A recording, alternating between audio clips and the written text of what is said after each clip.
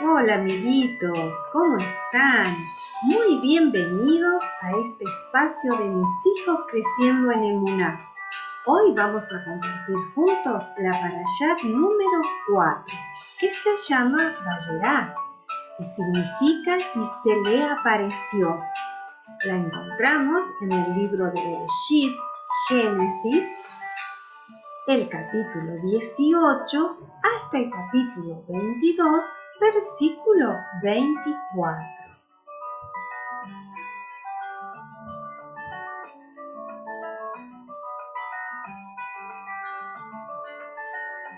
En el capítulo 18 vamos a ver la promesa del nacimiento de Isaac. Y esta para allá comienza diciéndonos que después de un tiempo el Dios eterno se le apareció a Abraham Abraham estaba sentado a la puerta de su tienda y cuando alzó los ojos vio a tres varones que estaban parados cerca de él. Abraham se levantó y corriendo se fue al encuentro de ellos y se postró y los invitó a quedarse. Y como estos varones dijeron que sí, enseguida Abraham les ofreció agua para lavar sus pies y también les ofreció alimento. Fue corriendo hasta donde estaba Sara y le dijo que tomara harina y cocinara panes. También fue a buscar un becerro tierno y bueno y le pidió a su siervo que se lo preparara. También les preparó leche y mantequilla y cuando todo esto estaba listo, se sentaron debajo de un árbol y allí comenzaron a comer. Abraham estaba con ellos. Y estos varones le preguntaron a Abraham dónde estaba Sara, su esposa. Y Abraham le dijo que Sara estaba en la tienda. Y le dijo Dios que de acá a un tiempo, en el tiempo de la vida, él iba a volver. Y Sara iba a tener un hijo. Y Sara estaba escuchando. ¿Y saben qué, amiguitos? Ella se rió. Porque tanto Abraham como ella ya eran muy viejitos. Entonces Dios le preguntó por qué se había reído Sara. Y le dijo, ¿acaso hay algo imposible para Dios? ¿Hay algo que sea difícil para Dios? Pero Sara negó que se había reído porque tuvo temor. Después que ellos terminaron de comer, se levantaron estos varones y se dirigieron hasta Sodoma. Abraham también los acompañó y cuando estaban saliendo, dos de estos varones se dirigieron hasta aquellas ciudades, pero Abraham quedó hablando con el Dios eterno. Y saben, Dios dijo, ¿acaso le voy a ocultar a Abraham lo que voy a hacer? Abraham será una nación grande y fuerte, y en él serán benditas todas las naciones de la tierra. Y Dios le contó a Abraham lo que pensaba hacer con aquellas ciudades. Entonces Abraham intercede a Dios por Sodoma y les dice, ¿acaso van a morir los justos con los malvados? Si hubiesen cincuenta justos, ¿también van a morir? Pero Dios le dijo, si hubieran cincuenta justos, no la destruiré. Luego Abraham le vuelve a preguntar, ¿y si hubieran cuarenta y cinco justos, también vas a destruirlas? Y Dios le contestó, si hubieran cuarenta y cinco justos, no la voy a destruir. Y así Abraham le fue preguntando hasta llegar a diez. Y Dios le dijo que si hubiesen diez justos allí, él no la iba a destruir. En el capítulo 19, la Parashat nos relata acerca de que Dios rescata a Lot. Y cuando estos dos enviados llegan hasta Sodoma, Lot, el sobrino de Abraham, estaba sentado en la puerta de la ciudad y cuando los vio, fue corriendo hasta ellos y se postró y los invitó a quedarse aquella noche en su casa. Pero estos varones no querían, pero como Lot insistió tanto, dijeron que sí. Y cuando ellos entraron a la casa, después de que Lot también le ofreciera alimento, se congregó en, en, la casa, fuera de la casa de Lot, gran cantidad de hombres, ancianos y jóvenes. Y estos hombres querían que Lot sacara a esos dos varones afuera, porque le querían hacer daño. Recuerden que las personas que vivían en Sodoma y Gomorra eran personas malas y muy pecadoras. Entonces Lot salió afuera y les dijo que no, que nadie le iba a hacer daño a sus invitados, a estos varones. Entonces a esa gente que estaba afuera se enojó mucho y también le quería hacer daño a Lot. Entonces estos varones extendieron sus manos y trajeron a Lot de vuelta adentro de la casa y cerraron la puerta. Y también hicieron que a todos los que estaban afuera cayera sobre ellos una gran ceguera.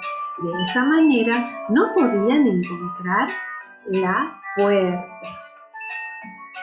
Así fue como estos varones le dijeron a Lot, saca de esta ciudad a toda tu familia, porque nosotros vamos a destruir este lugar, ya que el clamor que subió delante del Eterno es grande, y el Eterno nos envió a destruir.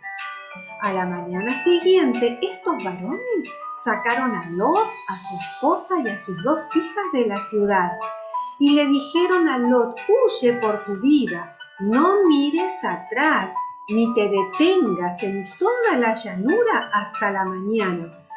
Huye o serás destruido. Le dice que se fueran a montaña y que allí se escondieran, pero Lot les pidió huir a una ciudad cercana y los varones se lo concedieron. Por eso llamó Zoar el nombre de esa ciudad. Y el Eterno hizo llover desde los cielos sobre Sodoma y Gomorra azufre y fuego, y destruyó estas ciudades. Y la mujer de Lot miró hacia atrás y se convirtió en una estatua de sal. Pasó el tiempo y las dos hijas de Lot concibieron de su padre. La primogénita dio a luz un hijo y llamó su nombre Moab, el cual es padre de los moabitas hasta hoy. También la más joven dio a luz un hijo y llamó su nombre Ben Benamí, el cual es padre de los hijos de Amón hasta hoy. En el capítulo 20 se nos relata lo que sucedió con Abraham y Abimelech. Abraham viajó hacia la tierra del Negev y habitó como forastero en Gerar, y Abimelech era rey de Gerar. Y cuando vio que Sara era tan hermosa, la llevó a su casa, pero el Dios eterno le mostró en un sueño que Sara era la esposa de Abraham. Entonces Abimelech la devuelve a su esposo, a su esposo Abraham. También le da ganados y muchas cosas y le dijo que podía habitar en el lugar que él eligiera. En el capítulo 1, amiguitos, vemos el nacimiento de Isaac.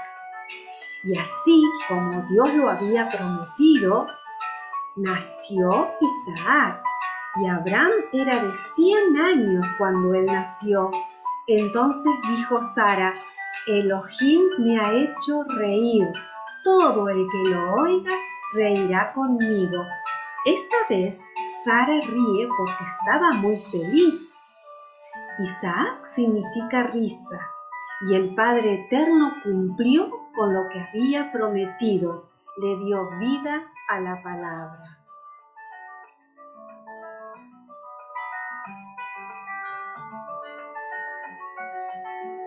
También esta para allá nos relata que un día Sara vio que el hijo de Abraham, el hijo que había tenido de Agar, la egipcia, es decir, Ismael, se burlaba de su hermano Isaac. Entonces Sara le pidió a Abraham que expulsara, que echara a Agar y a su hijo Ismael, porque no quería que heredara el hijo de una esclava. Abraham entonces se levantó temprano en la mañana tomó pan y agua y despidió a Agar con el muchacho. Ella se fue y anduvo errante por el desierto de Berseba. Cuando se les acabó el agua, pensaron que iban a morir. Entonces alzó su voz y lloró. Pero Elohim oyó la voz del muchacho y el ángel de Dios llamó a Agar desde los cielos y le dijo, no tengas miedo, porque Elohim ha oído la voz del muchacho. Levántate, alza al muchacho y sosténlo con tu mano, porque haré de él una gran nación. Y Elohim le abrió los ojos y vio un pozo de agua, y fue lleno el odre de agua y dio a beber al muchacho. Y estuvo Elohim con el, con el muchacho, es decir, con Ismael, el cual creció y habitó en el desierto y fue tirador de arco. Y su mamá tomó para él una mujer de la tierra de Egipto. En el capítulo 22 se nos relata el sacrificio de Isaac. Y nos dice que Dios probó a Abraham y le dijo, ahora toma a tu hijo, tu único hijo, a Isaac, a quien amas, y ve a la tierra de Moriah y tú mismo ofrécelo allí en holocausto sobre uno de los montes que yo te diré. Y Abraham se levantó temprano por la mañana, preparó su asno, le, le dijo también a dos siervos que lo acompañaran, tomó troncos o leñas para el fuego y se fueron hacia ese lugar que Dios le mostraría. Cuando estaban por llegar ahí, Abraham le dice a sus siervos que se queden ahí, que él iba a seguir con su hijo Isaac y que luego de adorar ellos volverían. Y cuando iban caminando Abraham e Isaac, Isaac le pregunta a su papá que estaba la leña, estaba el fuego, pero ¿dónde estaba el cordero que iban a sacrificar en holocausto? Y Abraham le contesta que Elohim les iba a proveer el cordero para el holocausto. Y ambos iban juntos. ¿Saben qué, amiguitos? Cuando él dice que iban juntos, nos indica que Isaac estaba totalmente unido a su padre en propósito y pensamiento. Isaac no era un niño, tenía más de 30 años y su deseo era hacer la voluntad de su Padre eterno y obedecer a su Padre terrenal. Cuando llegaron al lugar, Abraham prepara el altar y pone a su hijo Isaac sobre el altar y lo ata. Y cuando Abraham alza su mano para ofrecer a su hijo en ese holocausto, Dios le habla a Abraham y le dice, no Abraham, detente porque ya he visto que me eres muy obediente. Entonces levantan los ojos y ven a un carnero que estaba enredado en un arbusto. Y llamó a Abraham a aquel lugar Shireh, es decir,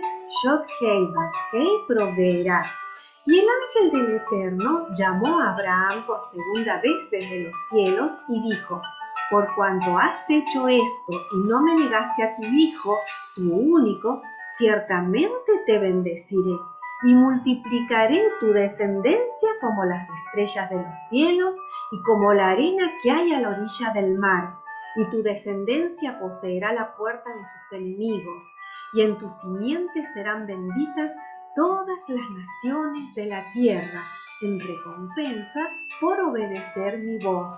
Y regresó Abraham y habitó en Berseba. Amiguitos, qué hermosa para allá y nos enseña que las promesas de Dios siempre se cumplen. Debemos tener emuná en nuestras vidas, que es tener fe y obedecer todo lo que el Padre Eterno nos diga y confiar en Él. La mejor decisión que podemos tomar es siempre obedecer al Eterno, aunque no entendamos cómo Dios va a hacer las cosas.